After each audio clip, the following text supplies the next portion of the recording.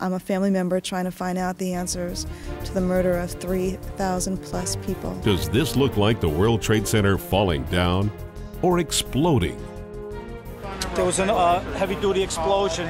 inside the lobby. Was that a secondary explosion? Yes, it was. Scientists found explosives What we have found is a modern version of thermite. and a third skyscraper came down in free fall. My first reaction was that looks like controlled demolitions. Why do over 1,500 architects and engineers doubt the government story? The explanations from FEMA and from NIST don't add up.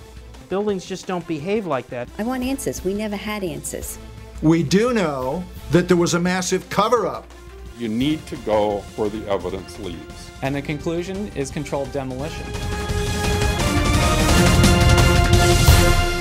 The Science of September 11.